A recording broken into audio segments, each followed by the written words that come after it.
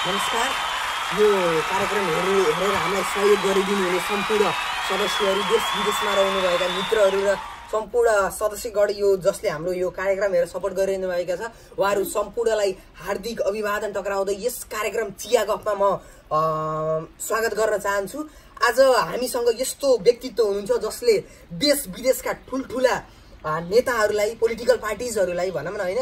करप्सनको चाहिँ जुन लाइनमा थिए उनीहरू त्यसबाट चाहिँ हामीलाई विभिन्न कार्यक्रमहरू गरेर बाहिर निकालिसक्नु भएको छ र आज कार्यक्रममा हुनुहुन्छ Safal Bhandari all the way from कोटियोवा and उहाँले चाहिँ अब मलाई केही प्रश्नहरू सोध्न गइरहनु भएको छ र उहाँहरूको प्रश्नहरू यस प्रकार। हामी अगाडि बढ्छौँ। हजुर। हाम्रो नेपालमा विकास नहुनुको कारण के छ? स्पष्ट। हजुर नेपालमा चाहिँ विकास नहुनुको कारण के छ भन्नुभयो नि त? नेपालमा त हन्ड्रेड पर्सेन्ट नेपाल त विकास भइसकेको देश हो कि? विकास भइरहेको देश हो क्या नेपाल त? नेपालमा विकास गर्न केही दुःखै छैन। हन्ड्रेड पर्सेन्ट नेपाल चाहिँ विकास हुन्छ। के छ भन्दाखेरिमा नेपाल हाम्रो हिमालयन रिजन तपाईँको हिली रिजनदेखि लिएर तराई रिजन गरेर तिनवटा जियोग्राफिकल रिजनहरूमा चाहिँ डिभाइड छ होइन? यो डिफ्रेन्ट जियोग्राफिकल रिजन अनुसार डिफ्रेन्ट क्लाइमेट अनि डिफ्रेन्ट काइन्ड्स अफ माटाको के क्वालिटी पनि डिफ्रेन्ट हुन्छ होइन? अनि त्यस डिफ्रेन्ट भेजिटेसनहरू अनि डिफ्रेन्ट वाइल्ड लाइफहरू पा पाउन सकिन्छ होइन? अब के छ भन्दाखेरिमा यो वाइल्ड लाइफहरूलाई अनि भेरिएसन के वाइल्ड लाइफहरूको त्यो भेराइटिजहरूलाई हेर्न आउने टुरिस्ट पनि every year hundred of tourist thousand of tourist छन् कि? त्यति मात्र नभएर नेपालमा चाहिँ पाइने डिफ्रेन्ट काइन्ड्स अफ भेजिटेसनहरूलाई हामीले युरोपियन कन्ट्रिजहरूमा बेचेर विदेशी मुद्रा युरोपियन डलर्सहरू चाहिँ हामीले कमाउन सकिन्छ। सकिन्छ। अनि त्यति मात्र होइन नेपालमा चाहिँ छ सयभन्दा बढी हिमालयन रिजनदेखि फ्लो हुने अनि महाभारत रेन्जदेखि फ्लो हुने चुरे रेन्जदेखि फ्लो हुने छ सयभन्दा धेरै फास्ट फ्लोइङ रिभर्सहरू छन् होइन। यी रिभर्सहरूमा चाहिँ हामीले हाइड्रो इलेक्ट्रिसिटी प्रड्युस गर्न सकिन्छ। त्यति मात्र नभएर हामीले हाम्रो देशको पानी होइन एक एक रुपियाँको एक बोतल मात्र विदेशी कन्ट्रिजहरूलाई बेच्यौँ भने एक करोडभन्दा धेरै पैसा कमाउन सकिन्छ कि? एक रुपियाँको एउटा बेच्यौँ भने एक करोड बोतल बेच्यो भने त एक करोड रुपियाँ कमाउन सकियो। त्यो त्यसरी चाहिँ हामीले विकासवादी पाइलाहरू चाल्न सकिन्छ। अब चाहिँ म विकास यो भयो हाम्रो जियो जियोग्राफिकल स्ट्रक्चर। अब चाहिँ म नेपाल चाहिँ प्रोभिन्सियल स्टेटमा डिभाइड छ होइन सातवटा पर अब यसबारे चाहिँ म कुराहरू गर्न चाहन्छु। विक्रमसम्म दुई हजार बहत्तर साल हाम्रो असोजको तिन गते होइन त? असोजको तिन गते नेपालको संविधान पछि चाहिँ नेपाल सातवटा प्रोभिन्समा विभाजित छ होइन? अब के छ भन्दाखेरिमा नेपालको डेभलपमेन्टल एक्टिभिटिजको लागि जुन नेसनल बजेट हुन्छ नि सेन्ट्रल गभर्मेन्टदेखि हुँदै प्रोभिन्सियल गभर्मेन्टबाट लोकल युनिट्समा आउने हो।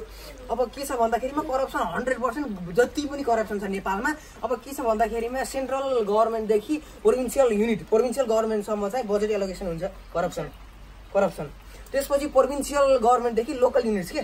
लोकल हाम्रो यहाँ लोकल युनिट्सहरूसम्म आउँदा चाहिँ फेरि करप्सन डबल करप्सन अब के छ भन्दाखेरिमा उहाँमाथि सेन्ट्रलले लोकल युनिट्सलाई दस मानौँ न पाँच करोडको बजेट एलोकेसन गरिएको छ भने हाम्रो लोकल युनिटसम्म आउँदा जम्मा दुई करोड भएर आउँछ। के यहाँ अब दिगो विकास गर्न सकिन्छ त? यस्तै कुरा भने दिगो विकास गर्न सकिन्छ। दिगो विकास त के यहाँ विकासको एउटा थोपा पाइला पनि सार्न सकिन्न। अझ मान्छेले अब यहाँ के छ भन्दाखेरिमा दुई करोड मात्र बजेट आउँछ होइन? अब जस्तै अब मन्दिर गराउन थालिएको छ मानव त्यो मन्दिर चाहिँ मान्छेले फिजिकल स्ट्रक्चर मात्र गराइन्छ कि। दिगो विकासका कुराहरू यहाँ प्रिन्सिपल सिद्धान्तहरू केही पनि यहाँ के त्यसका कुराहरू चाहिँ नगरिकन डाइरेक्ट यसो फिजिकल स्ट्रक्चर मात्र देखाउनलाई मन्दिर गराइन्छ जुन चाहिँ दुई तिन दिनमा भत्केर जान्छ। त्यही भएर corruption is the main reason why Nepal is lacking the development करप्सनले गर्दा चाहिँ नेपालमा चाहिँ डेभलपमेन्ट कमी भएको छ। नेपालमा चाहिँ यदि करप्सन हुन्न र पोलिटिकल पार्टिजहरू त्यही अनुसार अवेर भएर अगाडि बढ्छन् भने हन्ड्रेड पर्सेन्ट लेखेर दिन्छु। ग्यारेन्टी पाँच वर्षमा नेपालमा डेभलपमेन्ट आउँछ।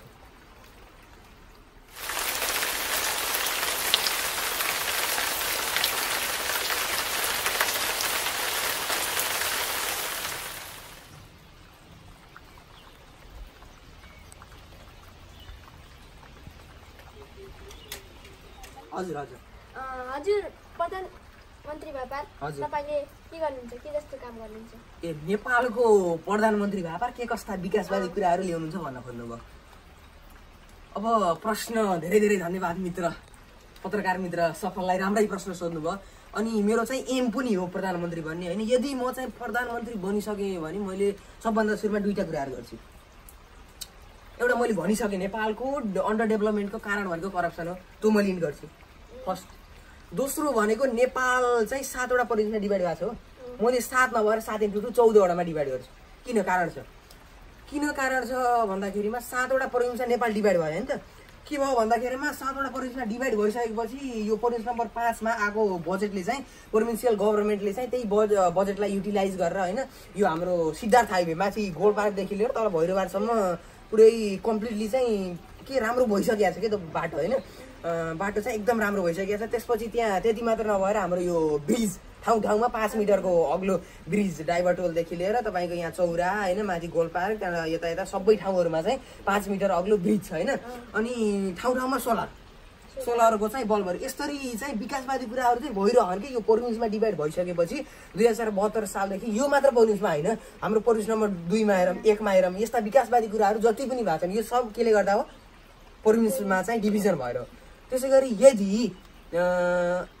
चौधवटा प्रोभिन्समा डिभाइड गरियो भने त चौधवटा मतलब सातवटा प्रोभिन्समा जति ठुलो प्रोभिन्स छ नि चौधवटामा हाफ एउटा प्रोभिन्स अझै सानो सानो हुँदै जान्छ होइन? एउटा सानो प्रोभिन्सलाई हेर्न त अझै अझै सजिलो हुन्छ नि त गभर्मेन्टले गभर्मेन्टले सानो प्रोभिन्समा चाहिँ विकासवादी कुराहरू सजिलैसँग गर्न सक्छ। यसरी सजिलैसँग विकासवादी कुराहरू गभर्मेन्टले यदि गर्न सक्यो भने त डेभलपमेन्टल एक्टिभिटिजहरू पनि अझै क्विक हुन्छ। अनि त्यसपछि के हुँदो रहेछ भन्दाखेरिमा एउटा प्रोभिन्सले डेभलप गर्यो भने अर्को प्रोभिन्सलाई चाहिँ एउटा कम्पिटिसनको फिलिङ पनि आउँदो रहेछ क्या एउटाले डेभलप गर अब हामीले पनि डेभलप गर्नुपर्छ भन्ने खालको त्यस्तो कम्पिटिसन खालको फिलिङले गर्दा पनि अब डेभलपमेन्टल एक्टिभिटिज अझै क्विक हुने। होइन रेपिड हिसाबले चाहिँ अगाडि बढ्ने चाहिँ भइरहेछ कि? त्यस्तो देख्न पनि पाइरहेछ। अनि मैले अर्को दोस्रो चाहिँ के गर्छु भने चाहिँ भन्दाखेरिमा करप्सन इन गर्छु हो। करप्सन त हन्ड्रेड पर्सेन्ट इन गरेर यहाँ जरुरी छ के? Hundred percent in. यदि नेपालमा नेपाल त तपाईँको दुई हजार चालिस साल बयालिस सालमै डेभलप हुनुपर्ने हो। किन भन्दा नेपालमा धेरै के means and resources hundred percent छ युटिलाइज गर्न सकिन्छ। पानी पानी मात्र बेच्ने हो भने एक रुपियाँ एउटा बोतल पानी बेच्ने एक करोड बोतलहरू बेच्ने एक करोड त्यत्तिकै कमाइ त्यति मात्र होइन नेपालको फास्ट ग्रोइङ लिभर अगाडिबाट मैले भनिसकेँ कि यी कुराहरू भन्नै पर्दैन। करप्सन यदि इन गरियो भने चाहिँ हन्ड्रेड पर्सेन्ट नेपालमा विकास हुन सक्छ। अनि म प्राइम मिनिस्टर बनेर चाहिँ यही गर्छु एउटा चौधवटा प्रोभिन्समा डिभाइड गर्छु। अनि दोस्रो कुरा चाहिँ मैले करप्सन इन गर्छु। नेपाल चाहिँ हन्ड्रेड पर्सेन्ट अब आउने दस वर्षमा पाँच वर्षमा नेपाल चाहिँ यस्ता कुराहरू गरियो भने चाहिँ डेभलप हुनसक्छ र जय नेपाल नेपालमा चाहिँ डेभलपमेन्ट आओस् भन्ने आशा गरौँ होइन। त अब भाइलाई भाइ मित्र भाइ पत्रकार धेरै धेरै धन्यवाद। मलाई यो कार्यक्रममा ल्याउनु भयो बोल्ने मौका दिनुभयो विकासवादी कुराहरूका बारेमा हामीले कुरा गरियो। धेरै धेरै धन्यवाद मित्र भाइ। र क्यामेराग्राफर निराजन पाण्डेलाई पनि धेरै धेरै धन्यवाद दिँदै यस कार्यक्रमबाट बिदा लिन चाहन्छौँ। नमस्कार जय नेपाल।